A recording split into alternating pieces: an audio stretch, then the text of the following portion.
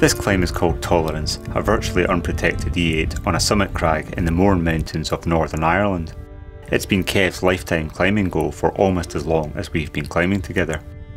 It's been 17 years since I first belayed Kev on this route and I've been worried about a return visit ever since. That's it, that's, that's the move. Brilliant. At some point we'd have to go back to the Mournes.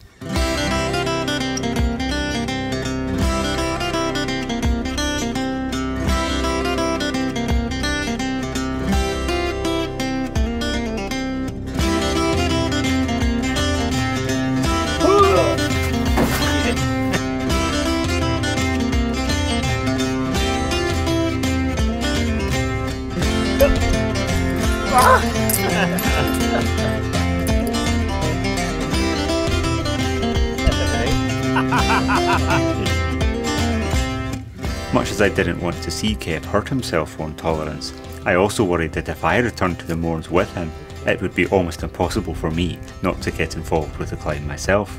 But regardless of who put themselves above those leg breaker slabs on Tolerance, at least we try and have a good time doing it.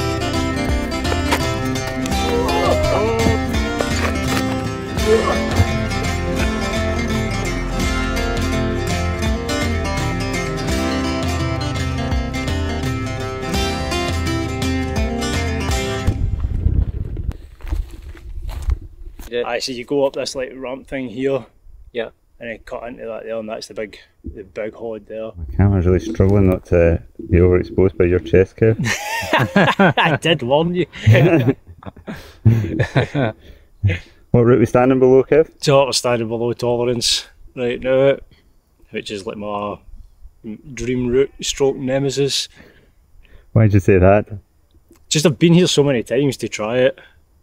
You know, and never quite got there, whether that's through either not being good enough or the weather's just been like utter gash almost every time I've been here. Like this time it's like 20 odd degrees and it's so warm. Last time I was melting ice off of the hods. I cannot wait to get on it and try it again. I think because I've been like ever since I climbed my first E7, I've always like thought, oh well, like E8's the next obvious thing. But trying to find one that suited my hand has been nigh on impossible. I've just not found anything that suited yet, and this is the only one that's came close. So I think that's why it's special, and it's here. Just this place is magic.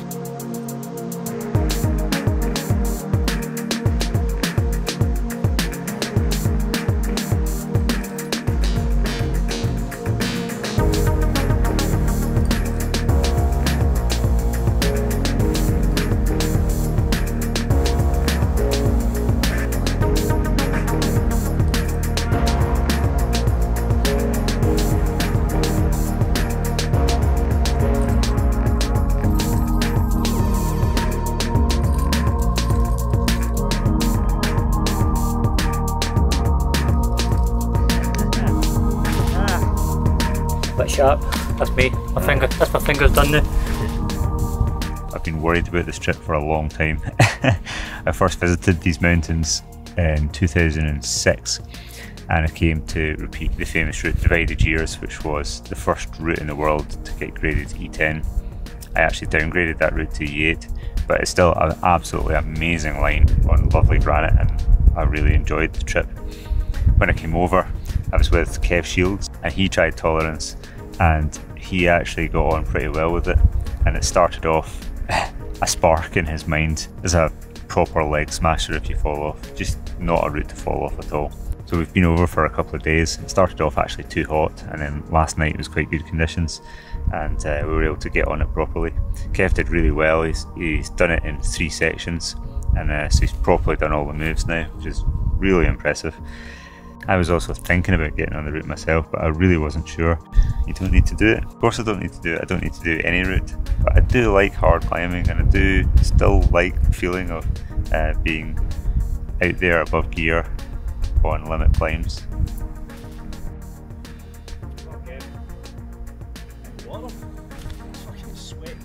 Definitely going to have to do a lot of physical training. I just need to be much stronger. Fingers and I think strength a wee bit then fucking that strength. Yeah.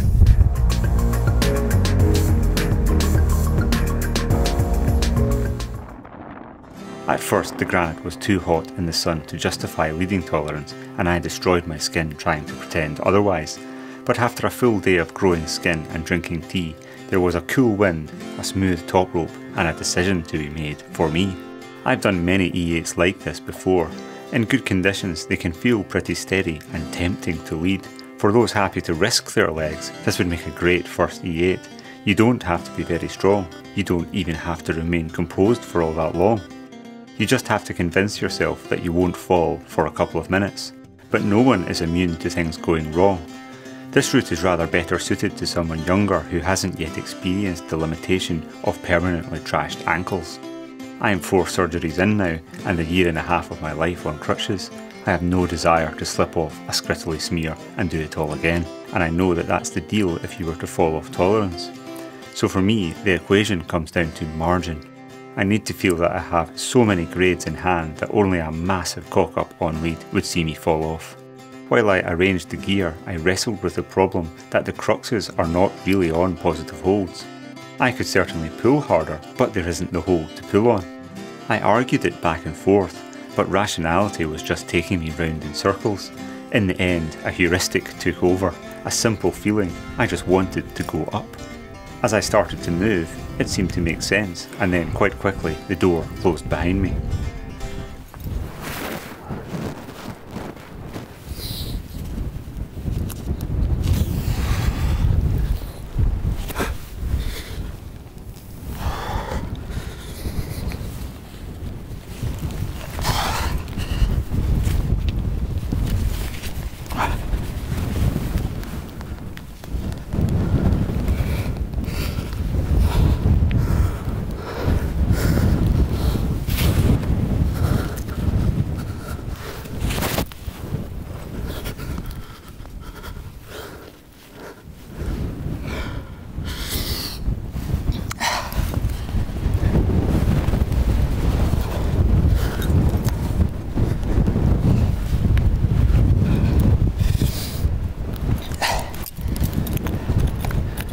Okay mate, crank up.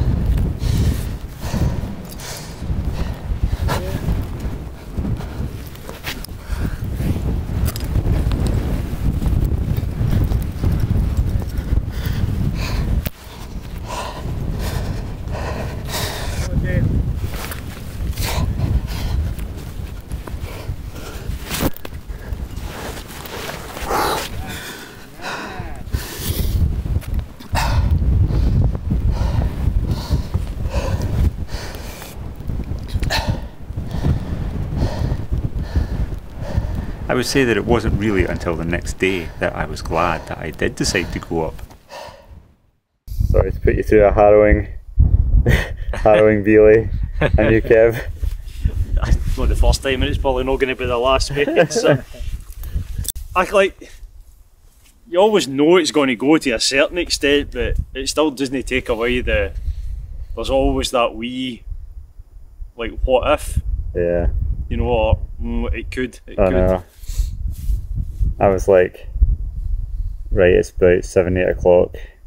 It's gonna get, you know, if, if I'm sitting there with broken legs, it's gonna Aye. get pretty fucking cold quite quickly. Like I was trying, all that stuff was going through my head. Like, right, where do we go to get reception? What do we do? like, it's going to be safe for Dave, even lowering him off of there because he's going to hit that. He's going to be stuck there. We need to get him from there down to here before we do anything. Aye, there was a ton of stuff going through my mind at Yeah. that one. yeah. Best to just not fall off.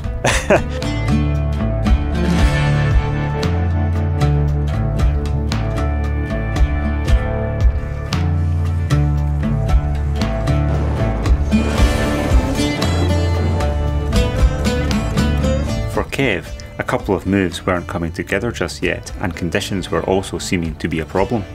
But that all changed on the final session where he looked really close to linking the whole thing on a top rope.